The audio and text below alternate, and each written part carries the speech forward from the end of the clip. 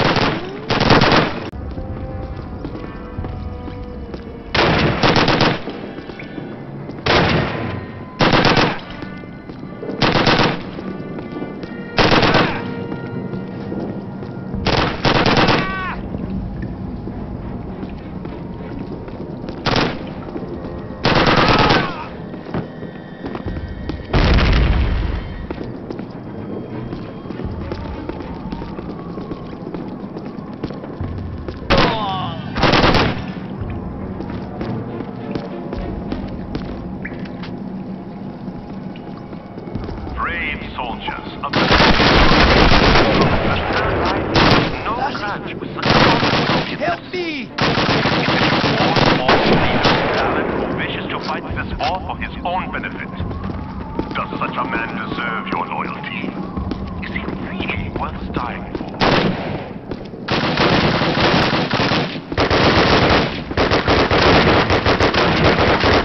Grenade! Grenade, get down!